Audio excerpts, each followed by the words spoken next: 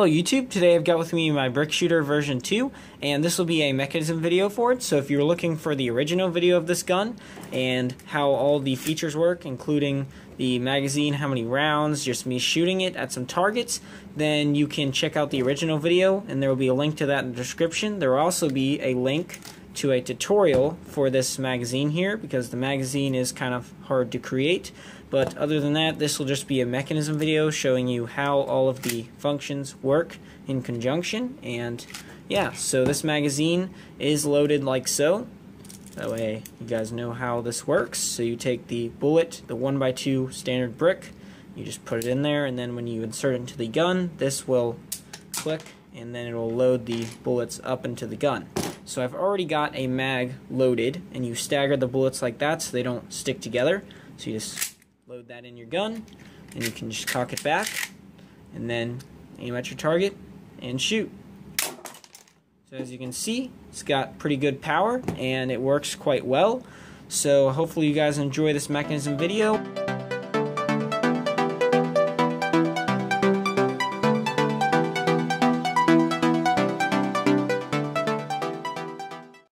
Okay guys, I'm back with the gun kind of disassembled. All I've done here is removed a few parts. So this from here, this panel from the handle, this from the top, and then this uh, sight piece that was holding it all together. So once it's all disassembled, it looks like this. So now you may be able to see why a tutorial is quite difficult. So I hope you guys can benefit from this mechanism video, and I'm going to try my best here. So first I want to go over the uh, magazine. So what you have here is the simple lock down like so. So this holds this down, and the bullets rest on that for now. So this is what happens when your magazine is loaded. So I'll show you guys this one after I demonstrate with this. So as you can see there would be bullets in here and they would just rest like so. The rubber band has tension on it and it's wanting to push this up. So what happens is when you insert the magazine through the pathway here it goes into this, this thing starts engaging, and this is the magazine release.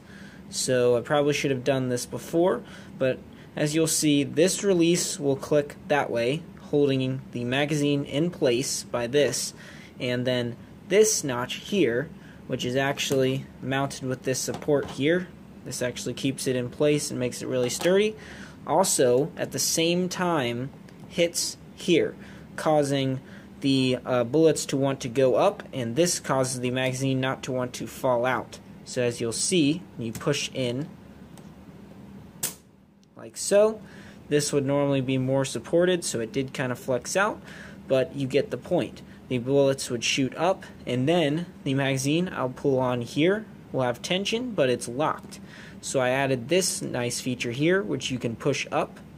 So as you can see, you can push up like that, and then just pull out the magazine. So here I'll show you guys with some bullets.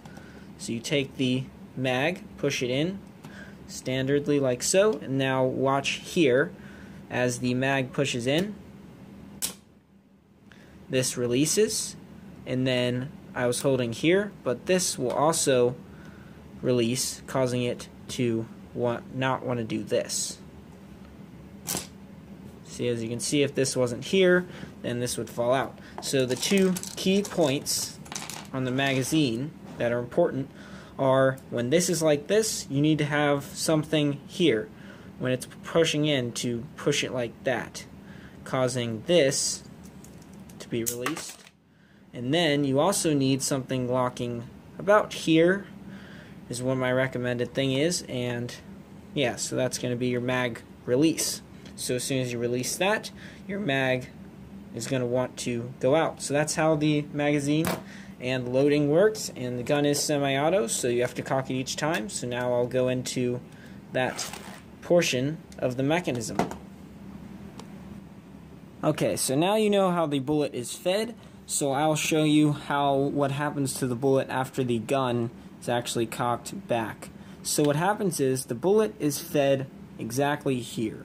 So the magazine is pushing up here and so there's something blocking this right here, as you can see. So that's what happens while the gun is idle. just stationarily like that. And so, try to focus this. And so what happens is when you cock it, there's constant pressure on the bullet. So when you when this clears this pathway here, it, the bullet will push up. So what happens is when you cock it, is you push this back, the trigger will just bump down a hair, and so this whole black piece is controlling this whole section. So it goes like this, then like that, then over here. And these are directly connected to this, and this little nub here, let me get it caught on the trigger, is separate. So as you can see, this is free. So this is the rubber band which is launching. That is the launching peg per se.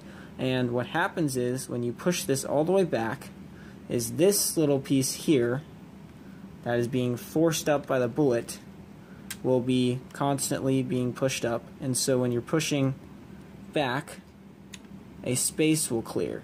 So as you can see, there will be a space here. So let me show you this happening. This is quite hard to do, but I will manage. Okay, so there you see, there's a space. Right there is where the bullet will be pushed in. So you can see that space right there. And so the bullet will be caught there.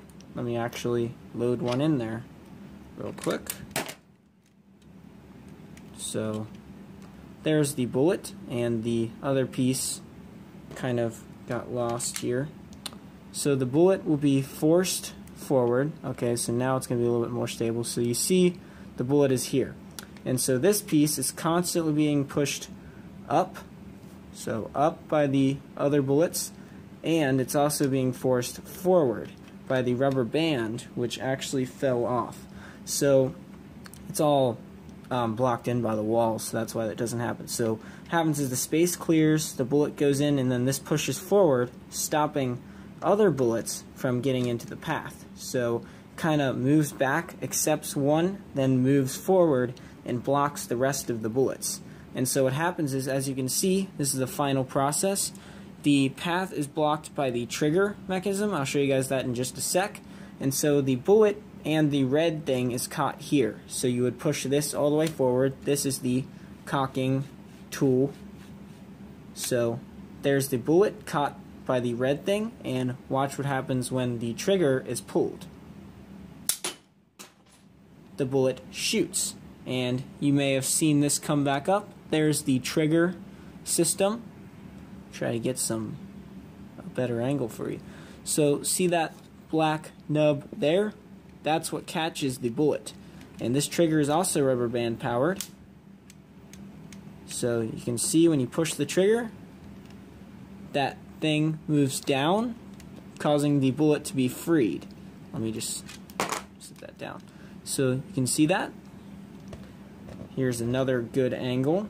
Look right there. You pull the trigger, that clears. And so the bullet can move past there and it's released and that's how you fire it and then this red thing shoots the bullet through this path here quite dark but you get the point. So that's how the mechanism of the gun works. Hopefully you guys could understand that. And I tried to put it as best as possible.